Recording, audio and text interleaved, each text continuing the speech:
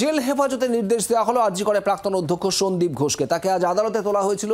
তেইশে সেপ্টেম্বর পর্যন্ত সন্দীপ ঘোষ জেল হেফাজতে থাকবেন এমনটাই আদালতের নির্দেশ। জেরার সময় টেন্ডার প্রক্রিয়া নিয়ে সদুত্তর দিতে পারেননি সন্দীপ ঘোষ। বেশ কিছু সম্পত্তির খোঁজ মিলেছে, এমনটা সিবিআইয়ের দাবি।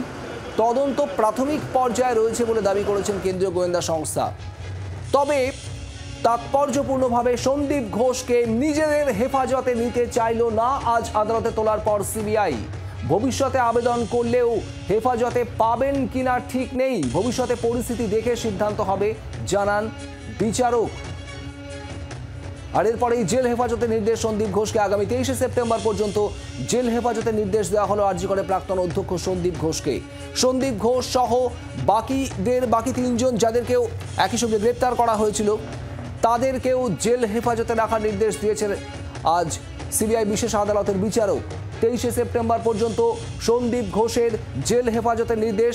আপনাদের আরও একবার জানিয়ে রাখব, আরজি করের আর্থিক অনিয়মের তদন্তে নামার পর এই মামলাতেই এই অভিযোগেই গ্রেপ্তার করা হয়েছিল সন্দীপ ঘোষকে।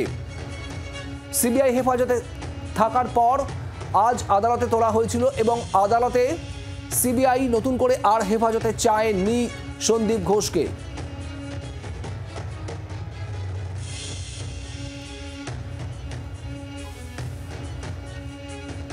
আর এর পাশাপাশি যে খবর আমরা পাচ্ছি, সন্দীপ ঘোষকে আদালত থেকে বেরোনোর সময় বাধা দেওয়া হয়। আইনজীবীদের একাংশ তারা সন্দীপ ঘোষকে বাধা দেন। নিজাম প্যালেস থেকে বের করে আজ আলিপুরে বিশেষ সিবিআই আদালতে নিয়ে যাওয়া হয়েছিল সন্দীপ ঘোষকে। সেখানেই হয় শুনানি।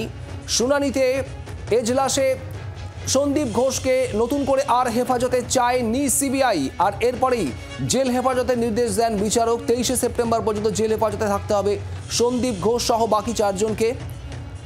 কিন্তু এখানেই আদালত থেকে বেরোনোর সময় আইনজীবীদের বাধার মুখে পড়তে হয়। আর্জি করে প্রাক্তন অধ্যক্ষ সন্দীপ ঘোষকে। আরও একবার জানাব আপনাদের, সন্দীপ ঘোষকে হেফাজতে চাইল না আজ সিবিআই। বাংলার আওয়াজ বাঙালির আবেগ। জি চব্বিশ ঘণ্টা।